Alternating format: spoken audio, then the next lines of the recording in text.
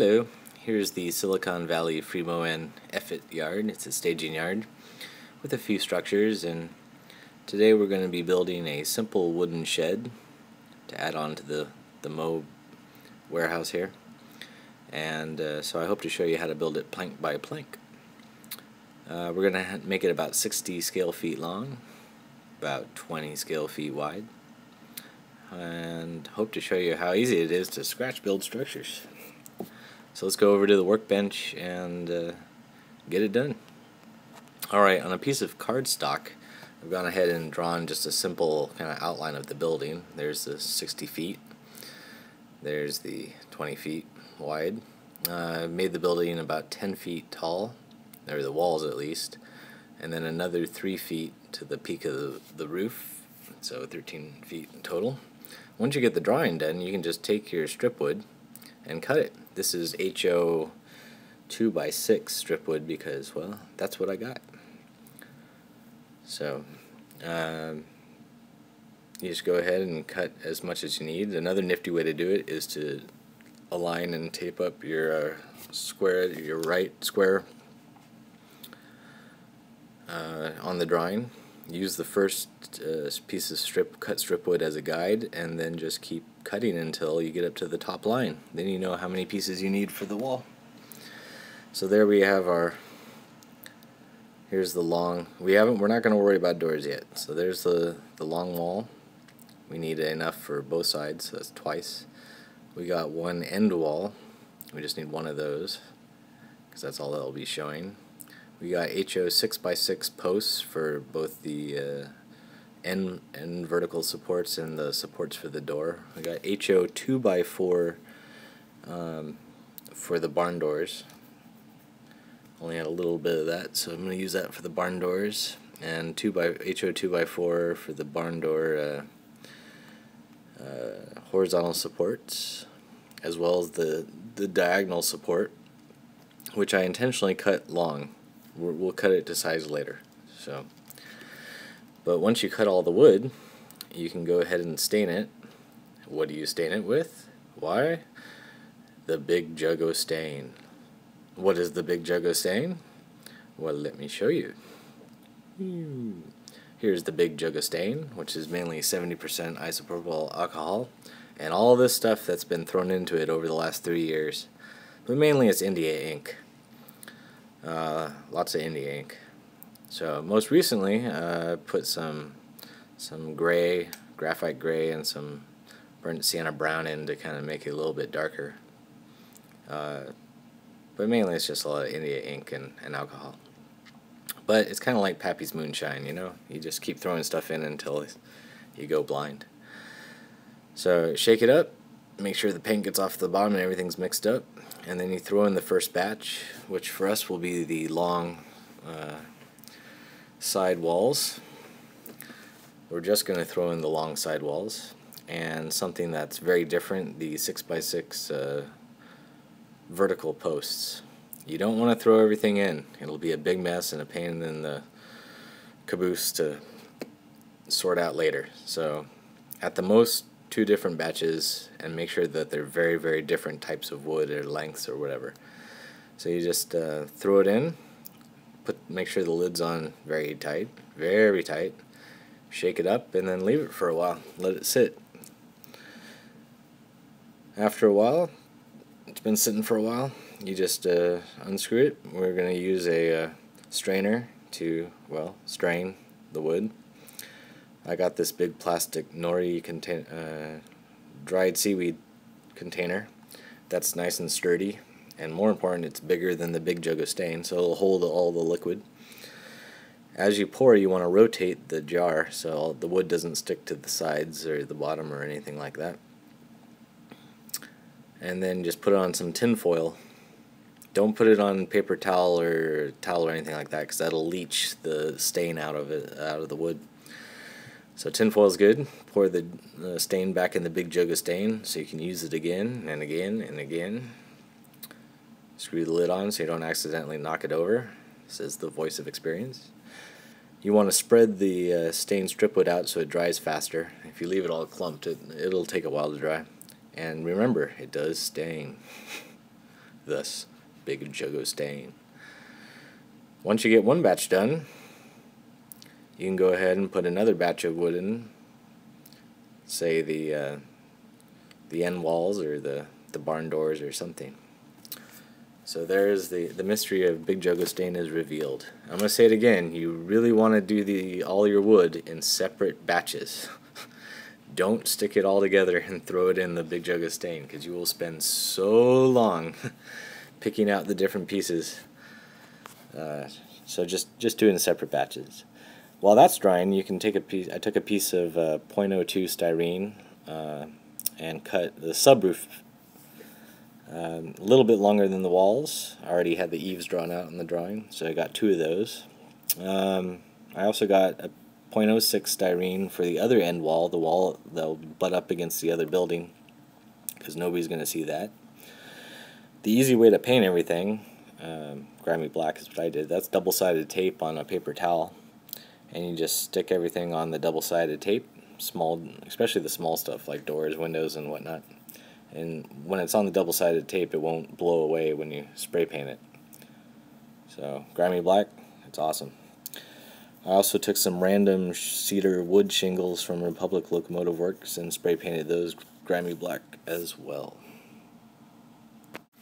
Alright let's get this thing built. We're going to start with some double-sided tape we want to cut some very thin strips of double-sided tape which we'll uh, put on the drawing and use to hold their vertical supports in place. You don't want to use a big chunk of double-sided tape because you don't want the supports totally sticking to the tape. Just a little bit is uh, is fine. So you just put that right over the line on your drawing. Pull the wrapper off.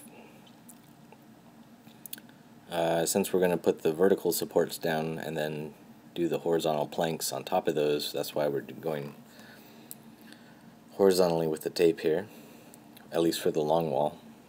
There we go. For the, the end wall, we're actually going to reverse that, and we're going to put the horizontal planks on the tape, and then do the vertical supports uh, on top of it. So we're going to reverse it, which is why the tape's going vertically there.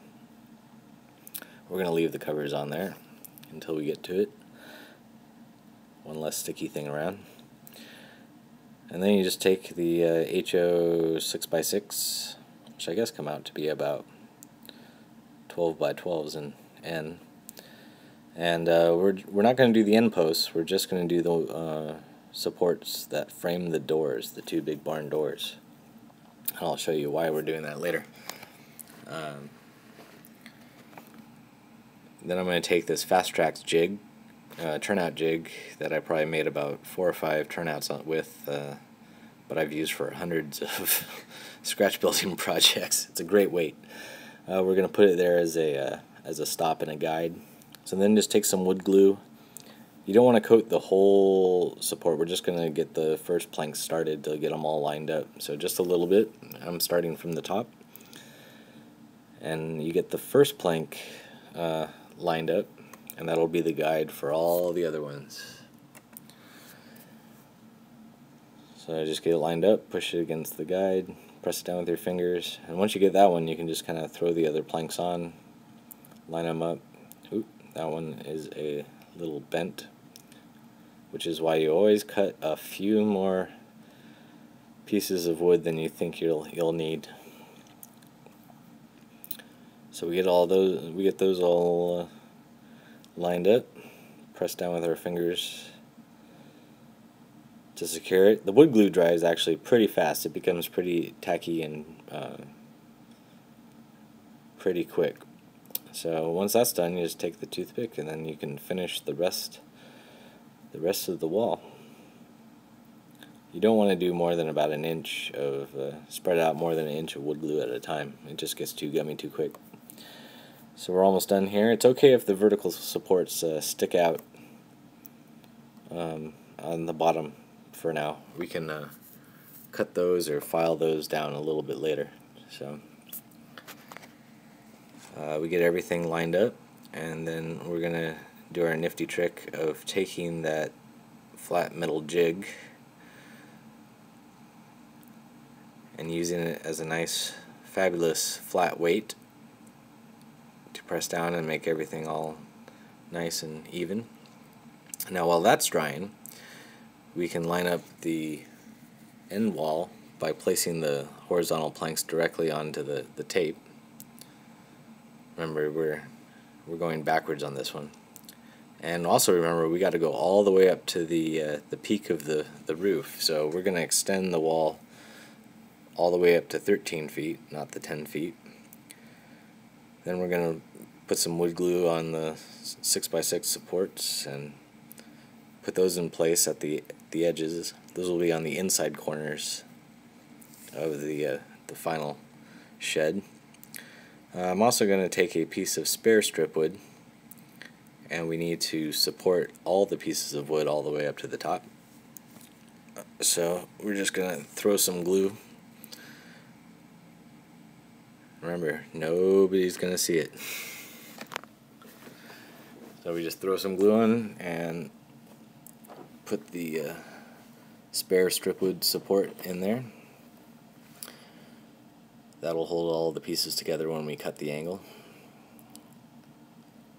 And then I'm just going to put two more. I'm going to put two more on uh, each side all the way up to the top so that the uh, the boards don't fly apart or fall apart when I cut. So while that's drying, you can go over and very gently lift up the vertical supports from the from the tape.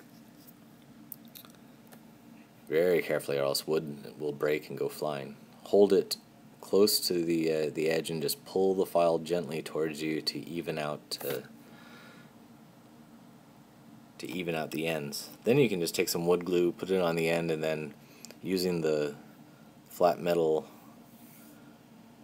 as a base plate, push the uh, the corner uh, post onto the end. You can just push it. You want to move it a little bit.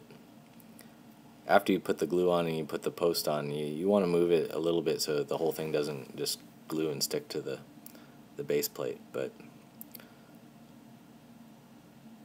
basically you're just pressing it in.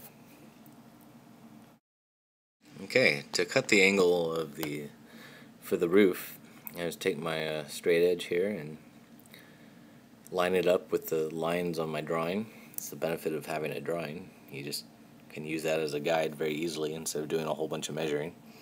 And then using a very, very, very, very, very sharp knife, lightly pull it towards you a couple passes and it should just uh, go through the thin wood